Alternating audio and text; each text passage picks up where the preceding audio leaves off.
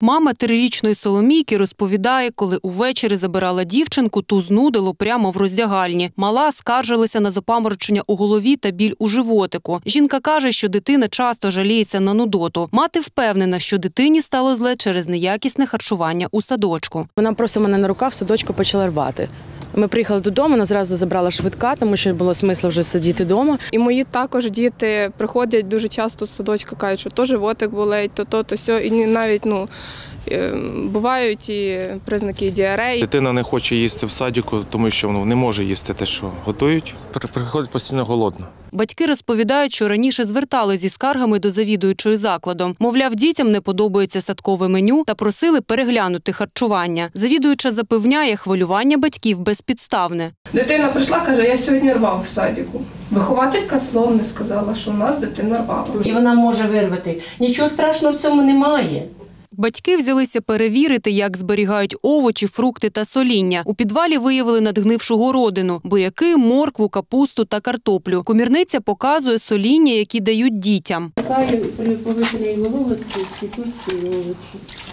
Руками можна, в принципі. Малеча скаржилася, що теплої води немає, і руки після вулиці мусять мити в холодній. Батьки припускають, що погано миють руки не лише діти. Я перепитала, дітки, розкажіть, будь ласка, ви миєте руки теплою водою чи холодною? Мені діти говорять, що холодною. тільки один Відмалювання. Моя дитина кожен день приходить садочка і питає, Так, ти перевіримо. Завідуюча пояснює, що воду не гріли лише тиждень, бо були перевитрати електроенергії. Так тепер мусять економити. Мама Ірина йде в групу перевірити, якою водою діти сьогодні миють руки. Холодною водою, де дитячий е, туалет, де вони там стоять два маленьких крани. Діти біжать туди мить руки постійно. А ще батьки кажуть, що через незавершені ремонтні роботи малеча падає зі сходів. Перила робітники зрізали, але нових не встановили.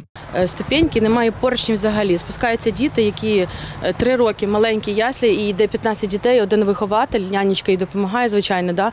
і вони просто всі йдуть на вулицю гратися. Як можна спуститися, тримаючи за поручні? Завідуюча садочком номер 52 каже, що обурення батьків не обґрунтовані. За її словами, готують для малечі з якісних та свіжих продуктів. А ось нарікання на незакінчений ремонт то питання до підрядника. Усіх невдоволених батьків завідуюча готово заслухати на загальних зборах. Їх обіцяє провести незабаром. Буде нарада.